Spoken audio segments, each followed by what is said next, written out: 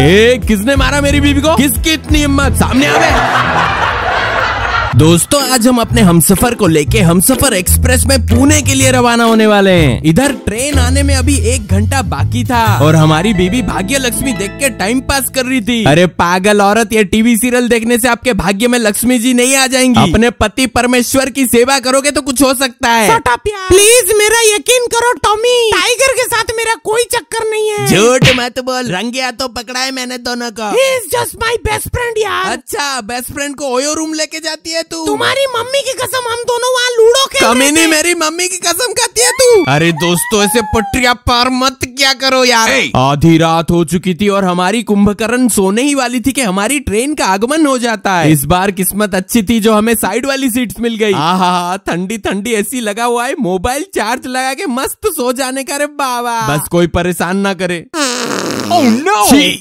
सड़ी हुई बदबू कौन है यार बदतमीज? ओए मैं हूँ आपकी बीवी। ओ अच्छा आप हो गया। है बहुत प्यारी खुशबू है। वाह मज़ा आ गया। ठीक है फिर एक और ले लो।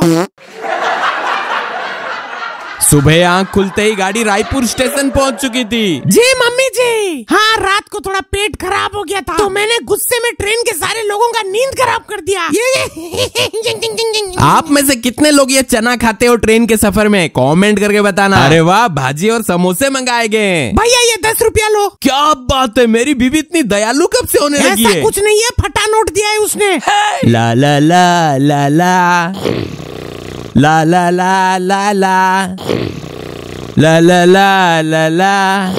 आहा इनका पूरा दिन बस ऐसा ही गुजर रहा है दोस्तों। दोस्तों टनल आ गया है। रात को जो इसने मेरा नींद खराब किया था अभी उसका बदला लेने का वक्त आ गया। ए, किसने मारा मेरी बीबी को? किसकी इतनी हिम्मत? सामने आ गए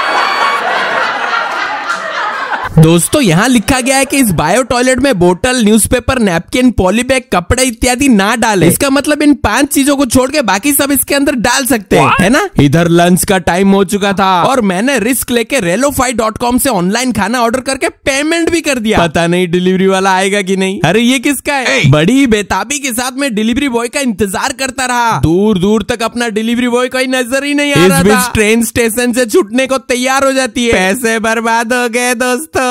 निराश होके जब अपनी सीट की ओर लौट रहा था तो मेरी उम्मीद की किरण जाग जाती है। इस डिलीवरी बॉय को देख के। ओ जी आ गया। आ गया ऑर्डर आ गया। बिग थैंक्स टू रेलोफाई दोस्तों आप भी बिंदास ट्रेन में ऑनलाइन खाना ऑर्डर कर सकते हो रेलोफाई डॉट कॉम ऐसी इस बीच शाम ढल के सुबह हो जाती है और हमारी आँखें सीधी खुलती है पुणे स्टेशन में। ओ हेलो मैडम चलो चलो। अरे कुली भैया थोड़ा धीरे चलो हमसे ज़्यादा जल्दी तो इनको है हमें घर पहुँचाने की। दोस्तों ये पुणे है पुणे यहाँ कौए भी गाड़ियों में बैठ के एक से दूसरी जगह ट्रैवल करते हैं समझे क्या? और हाँ सीधी दास को फॉलो करना भूलना मत ओके ओके